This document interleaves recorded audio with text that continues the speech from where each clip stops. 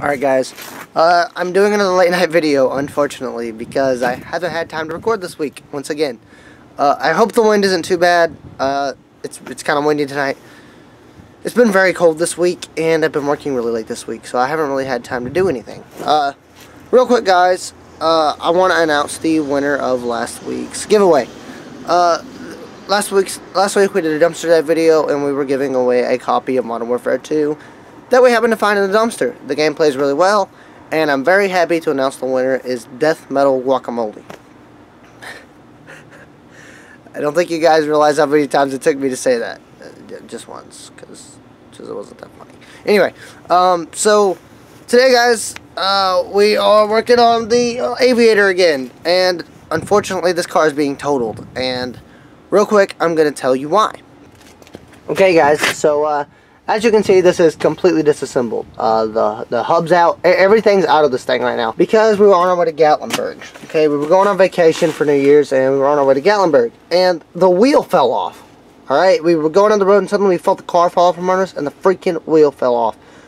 And uh, it's not like the lug nuts fell off. No, they sheared off. They broke off because someone over tightened the lug nuts. Now, if you guys do not know how much to tighten your lug nuts because you're afraid of this problem, look up the specs on lug nuts. It's usually around like a 100 foot-pounds, maybe, max. But there's no need to torque them down so tight that whenever you're driving down the road, they can shear off and your wheel go flying off down the freaking road. Which is what happened to us. Uh, we had someone work on it, and they unfortunately did a very bad job. But uh, real quick, I'm going to bring out the hub, and I'm going to show you guys just what happened. Okay, so uh, as you guys can clearly see here, uh, the lug studs are broken off. And uh, you can see they're knocked back. That's because we were trying to knock them out and replace them with new studs.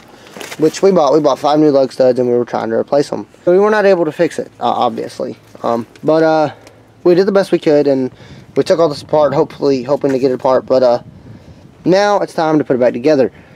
So uh, I'm going to go get all the bolts, guys, and we're going to be putting this thing back together because unfortunately this car is being totaled. We called our insurance company and as you can see, I will show you guys the damage. There's a lot of damage here. It bent this whole quarter panel whenever the uh, wheel came off. I mean, as you can see here, yeah, all that happened. Okay, because what I think happened, my, my theory, is that whenever the wheel first broke, these three studs right here that aren't completely broken off broke. Okay, and so the wheel was currently riding on these two. So it's doing this weird pattern, right, where it's going up, hitting this, and then coming back down and then going up and hitting this again until it fell off.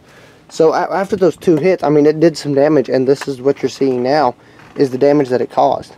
So, uh, yeah. So uh, what we're going to do is we're going to be putting back together what's here, so that they can haul it off and scrap it or whatever. And uh, we're going to be doing a couple other things that we could, that we want to take out, um, just because it's brand new, and we have a couple other things we can put back in it. So yeah, guys, that's what we're going to be doing now set my camera up on the tripod and start a time lapse.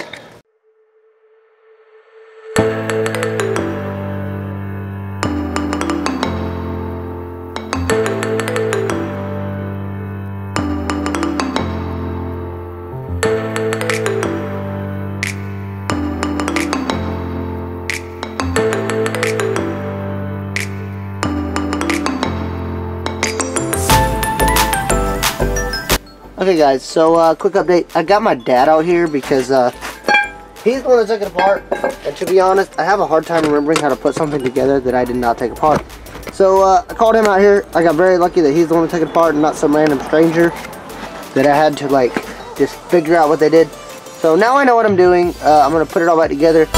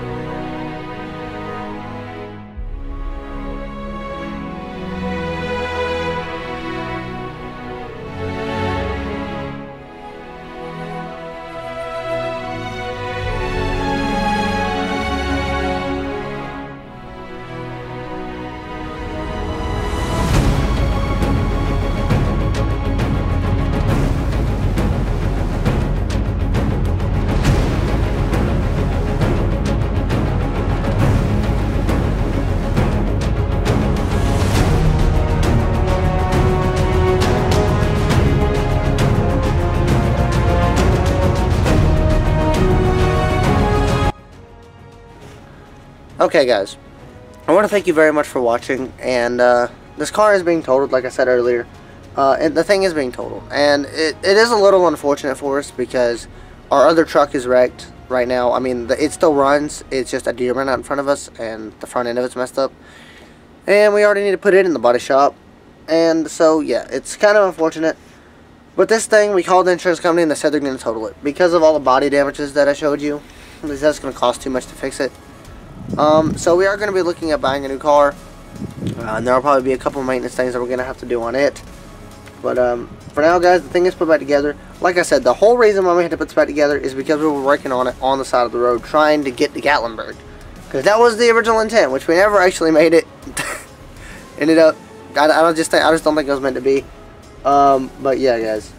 Uh, I want to thank you very much for watching, and uh, if I ever do another giveaway, be sure to, you know, enter in it so that you can win next time.